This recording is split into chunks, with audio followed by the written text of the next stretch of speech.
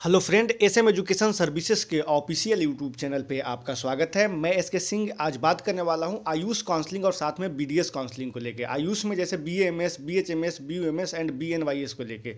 वैसे स्टूडेंट जिन्हें M B B S का सीट नहीं मिला है एम बी बी एस में एडमिशन नहीं ले पाए हैं स्कोर कम था या जस्ट क्वालिफाइड हैं या क्वालिफाइड नहीं है, उन स्टूडेंट को कौन कौन से ब्रांच में कौन कौन से कोर्सेज के लिए आपको सीटें मिल सकती है?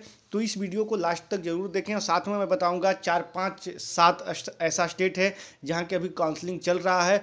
क्या एक्टिविटी है काउंसलिंग का वो मैं आप लोगों के साथ शेयर करूँगा। तो इस वीडियो को लास्ट तक ज़रूर देखें सब्सक्राइब करके रखें और यदि आपको पेड सर्विस चाहे तो पेड सर्विस अवेल कर सकते हैं। हमारे यहाँ पेड सर्विस है, इसमें आपको प्रॉपर काउंसलिंग गाइडेंस दी जाती है और आपको हंड्रेड सीट भी मिलती है गाइडेंस के माध्यम से।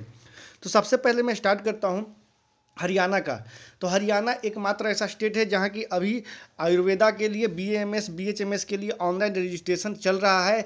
11 जनवरी 2021 से 18 जनवरी 2021 तक इसका रजिस्ट्रेशन होगा। जो स्टूडेंट हरियाणा से बी एम एस या बी एच एम एस करना चाहते हैं, वो रजिस्ट्रेशन करा सकते हैं। हरियाणा के ऑफिशियल साइट है W W W dot S K A U ए सी इन पर जाके आपको रजिस्ट्रेशन कराना होगा।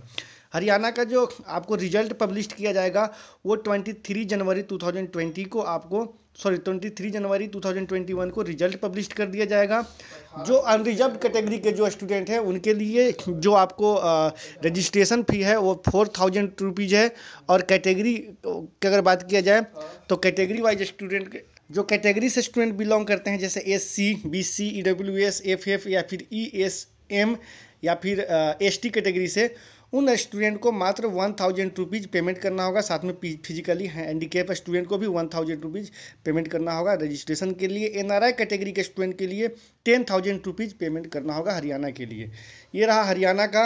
अब मैं बात करूँगा तेलंगाना का। तो तेलंगाना का भी रजिस्ट्रेशन चल रहा है। Online application for thirteen January two thousand twenty two twenty January two thousand twenty one तक इसका रजिस्ट्रेशन चलेगा। जो स्टूडेंट तेलंगाना से आयुष करना चाहते हैं, जैसे B M S B H M S B N Y S या बी यू एम एस करना चाहते हैं, वैसे स्टूडेंट तेलंगाना के ऑफिशियल साइट पे आप जाकर रजिस्ट्रेशन कर सकते हैं।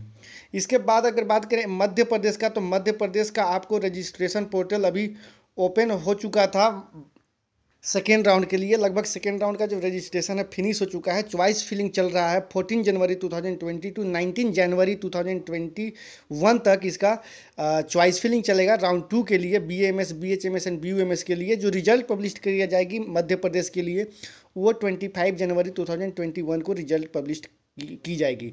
वैसे स्टूडेंट जो उड़ीसा से आयुर्वेदा करना चाहते हैं उन स्टूडेंट के लिए भी बता दूँ मैं।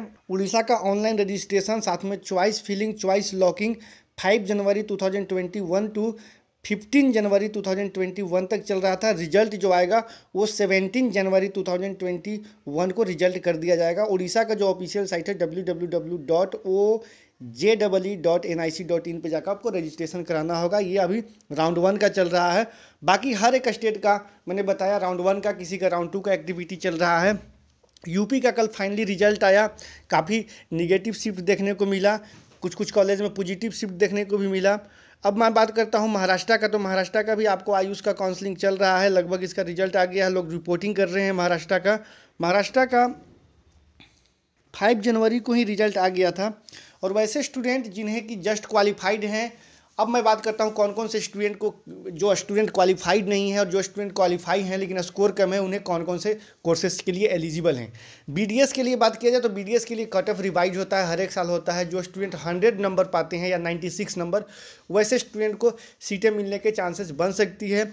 लेकिन जो बी करना चाहते हैं और वैसे स्टूडेंट जिनका बजट है और स्टूडेंट क्या हुआ कि नीट का एग्ज़ाम भी नहीं दिए हैं, या नीट में क्वालिफाइड नहीं हो पाए हैं, या नीट का एग्ज़ाम दिए बहुत कम नंबर है तो ये कोई फ़र्क नहीं पड़ता आपको लास्ट मोमेंट में ये ट्वेल्थ बेसिस पे टेन प्लस टू के बेसिस पे आपको एडमिशन ली जाती है।